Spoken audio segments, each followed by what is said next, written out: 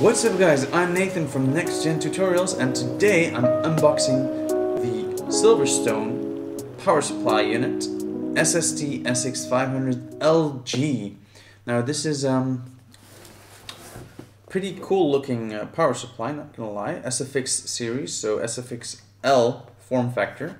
Um, I have this small one, which is really small compared to the other ones. I'm gonna show you in a, in a, in a sec because I'm gonna put it in my uh, mini desktop from Silverstone which is the Raven. So let's start, uh, let's check out the box. It shows you what connectors are in it. It's a modular power supply, which is pretty interesting to note because it's uh, one of the only SFX L factors, form factors, which has modular support. So we've got all the cables right here, which look pretty awesome.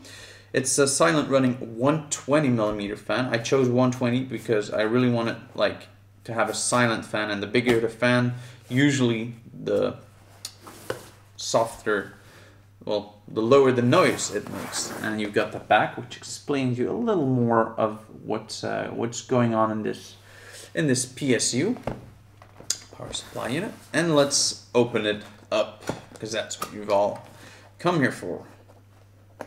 There you go. It's a it's a pretty nice looking box, though. If they would ask my opinion, I'd say this box is made for the 1990s, 1995. It's pretty outdated looking. Like I don't really like the design, but that's not why I bought it. We've got the power supply user manual. It doesn't really say so. I'm gonna I'm gonna yeah yeah, user manual. It's not really important, but there you go. And the power supply. Wait, does it say what this one is? Oh, this is the user manual. I'm sorry, guys. This is the user manual. The other one is, I think, just a little description of uh, what the thingy actually is.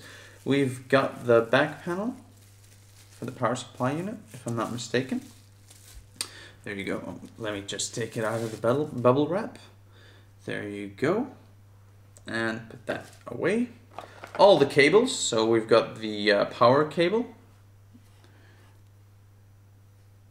We've got the modular, um, well I'm not really familiar with all the names of the cables, but we've got this one. And we've got this one. We've got a lot of cables, which I'm probably not going to use. I'm probably not going to use all of them because, you know, that's why I bought a modular one. Because it saves me space in my mini tower. Because uh, I've seen a few pictures of it. And I, I feel like I'm going to have to really cram all those cables in nice and tidy before putting anything else in there. And we've got the little bolts and some even smaller bolts. And of course, what you've all been waiting for, the mini power supply unit, which looks beautiful if you ask me. Ooh, let me get it out of its huge bubble wrap. Oh yeah, it looks really nice. It's got like the Silverstone logo and text on the bottom side, on the back side of it. You've got the fan, with the little frost signal. Well, I mean, actually, the uh, snowflake logo, the modular side here, and the power entrance here with the on-off switch, which uh, actually, if you're also building the Raven case, when, when you put it in, make sure that it's turned on and not off before putting it actually in. Now, what I'm going to try and do when putting this uh, power supply unit in, I'm going to first check if it's a loud one. If not, then uh, I might change the fan. Since it's a 120 millimeter fan and it has quite a lot of space for a fan, I'm gonna see if I can change it because uh, I checked online and it they did leave about like